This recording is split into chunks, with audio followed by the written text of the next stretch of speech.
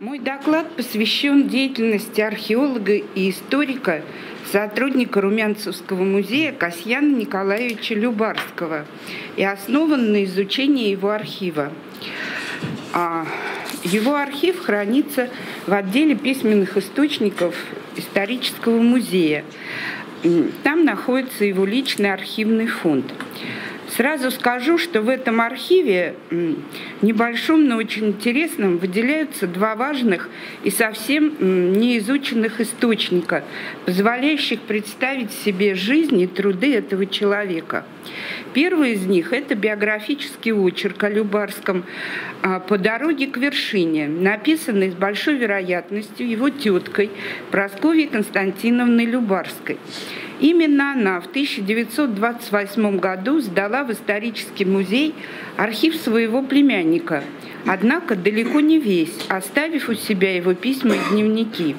Она прекрасно знала все подробности его жизни, и ее очерк очень точен и подробен. Его главная ценность состоит в том, что он содержит обширные, иногда на несколько листов, отрывки из дневников и писем Любарского, которые она не сдала в архив, и поэтому до нас они не дошли, не сохранились. В них описываются подробности его военной службы, археологической деятельности, жизни на русском севере. И в этом смысле очерк представляет собой ценный источник для биографии и изучения творческой деятельности Любарского. О другом ценном источнике я скажу позже. Касьян был французом по отцу, но брак родителей распался, и он носил фамилию матери. Он закончил юридический факультет Московского университета, родился в 1886 году в Москве. Служил в архиве Министерства юстиции и 10 лет э, работал в Румянцевском музее. С юных лет и до своей трагической гибели в августе 1920 года больше всего он любил русскую старину и археологию. Эта любовь во многом сложилась под влиянием вот как раз его тетки, ученицы Буслаева на высших женских курсах. Поскольку семья происходила из Рязани, и там был их родовой дом, Касьян был членом Рязанской губернской учено-архивной комиссии, издал «Рязанский некрополь», краткий обзор резницы Рязанского архиерейского дома, собирал книги и предметы старины для создания в Рязани музея этой учено-архивной комиссии. В 2014 году летом он представлял эту комиссию на 16-м археологическом съезде в Пскове. Но из-за начала войны съезд был отменен, и участники съезда могли только наблюдать панику на вокзале в Пскове. В эти годы Касьян Любарский был членом комиссии по изучению Старой Москвы при Московском археологическом обществе Тульской палаты древностей. Летом 15 года с хранителем отделения доисторических христианских и русских древностей Румянцевского музея Долговым был командирован на Кавказ для археологических раскопок, осмотра, снятия обмеров и фотографий древних памятников Кавказа. Вернувшись с Кавказа, искал себе поле для деятельности, чтобы приносить пользу обществу, и нашел. Работал в организациях по приему беженцев, в детских столовых, устраивал концерты для раненых в госпиталях и, наконец, работал в Красном Кресте по оборудованию отправки транспортов в окопы передовых линий. В феврале 16 года он был призван в армию. Хотя по закону он мог отказаться от службы как единственный сын, но присущее ему чувство долга не позволило сделать этого. Он прошел военное обучение в качестве вольноопределяющегося и, как знающий иностранные языки, был направлен в Архангельское главное артиллерийское управление заниматься отправкой военных грузов, получаемых от союзников, водным путем. Во время взрыва боеприпасов на пароходе «Барон Дризен» в Архангельске он был ранен и чуть не лишился зрения. В начале 17 года был направлен в командировку в Мурманск для отправки военных грузов по незамерзающим рекам. Там 3 марта 17 года его встретило известие о февральской революции, которому он был очень рад. «Воображаю, как кипит, бурлит жизнь у вас теперь. Сколько новых горизонтов, новых возможностей, новых работ и применения сил», – писал он родным. Сильно и глубоко поразило его известие о разгроме Кремля, о самом факте, что на него подняли руку. Люди всегда звереют во время революции. Думается, что разгромом Кремля большевики очень себе повредили. В стране, где теории так мало значит, а нужны факты.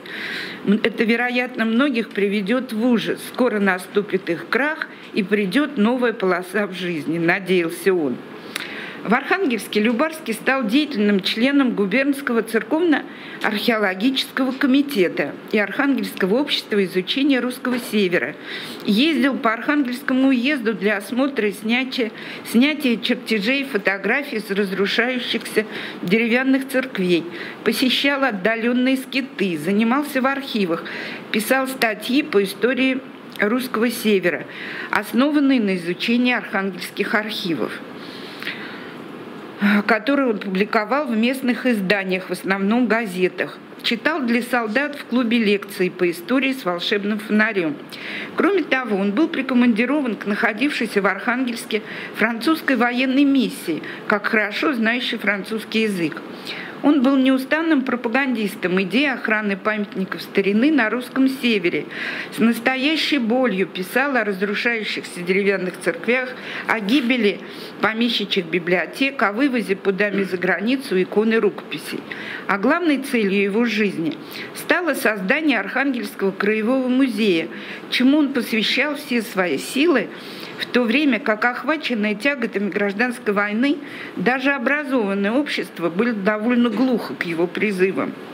Толкая и будя окружающих, он сам работал за десятерых, пользовался всяким случаем, чтобы проводить свои идеи о пользе музеев и книжности и их огромном значении в жизни государства. Старался пополнять коллекции будущего музея. В отделе письменных источников хранится переплетенный том, составленный самим Любарским из автографов, его многочисленных докладов, статей, заметок, писем по музейному делу и по поводу спасения памятников старины и искусства, которыми он бомбардировал различные руководящие организации. Лист использования в архиве был пустым. Видимо, никто не открывал этот том, кроме обрабатывавших фонд архивистов. Обложка любовно оформлена самим Любарским. Заголовок выведен тушью псевдоруническими буквами, выброшенная в суету жизни. Главное содержание этих материалов – отчаянная борьба Любарского за создание в Архангельске Краевого музея Северного края. В работе «Охрана памятников искусства и старины» он писал, «По многим историческим и географическим причинам Архангельск имеет возможность создать у себя образцовый, исключительный по богатству и значению государственный краевой музей, которым здесь, в портовом городе, в центре обширного края, могли бы гордиться и правительство, и население, и реально государственная экономическая роль которого была бы неоценима. Существовавший же городской музей, как писал Любарский в другой имеющейся в томе работе, музей местной старины, 18 год, не имея ни денежных средств, ни официальных полномочий, влачил самое печальное существование, лишенный возможности приобретать путем покупки или передачи ценные предметы благодаря невежеству гибнущие на местах или скупаемые ловкими агентами для перепродажи за границу. Музей принужден был перебираться из одного неудобного помещения в другое, еще менее подходящее. Не было возможности ни пополнять коллекции, ни проводить экскурсии, ни издавать материалы. Ему удалось в 2018 году получить согласие духовных лиц на передачу новому краевому музею флигеля духовной семинарии. После небольшого ремонта и переселения жильцов это здание вместило бы в себя ютившиеся в неприспособленных помещениях небольшой городской музей и музейные коллекции Церковно-археологического комитета. Среди материалов тома программный доклад «Значение археологии областных музеев в жизни государства», читанный Любарским на заседании Общества изучения русского севера в декабре 2018 года, в котором он излагает принципиальную необходимость создания музея. Давно уже пора, и дай бог, чтобы не поздно, настоятельно необходимо для самого нашего существования понять, что процветание государства без процветания науки немыслимо.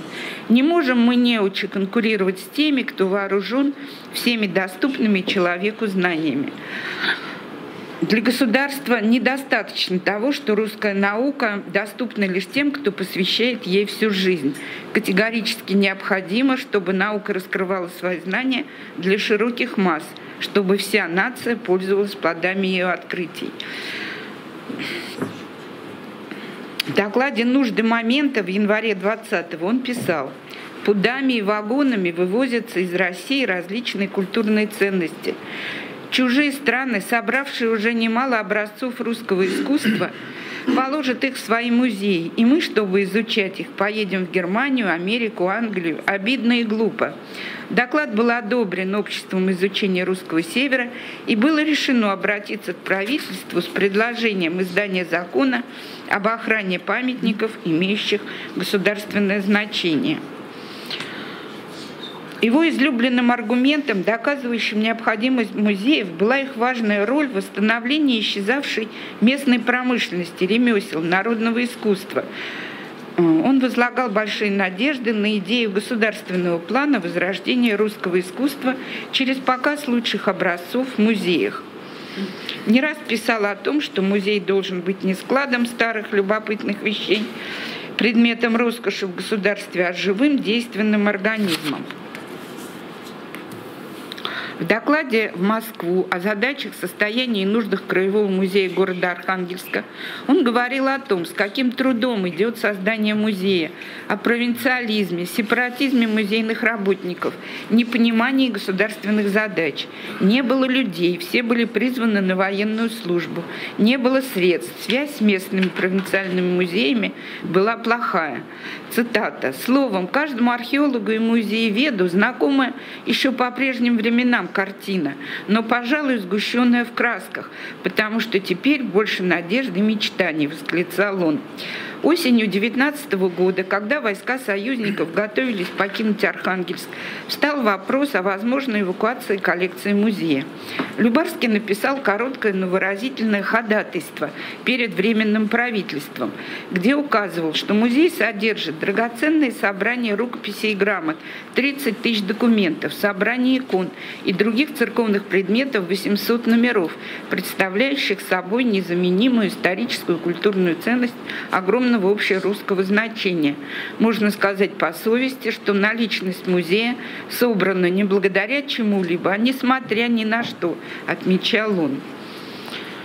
Извините, нам, кажется, в три часа надо освобождать этот зал. У нас ну, еще, еще докладчик. Как еще докладчик? Ну, хорошо. Да, Я как, сокращу. Да, да, извините, как да. Любарскому приходилось бороться с равнодушием, ленью, непониманием.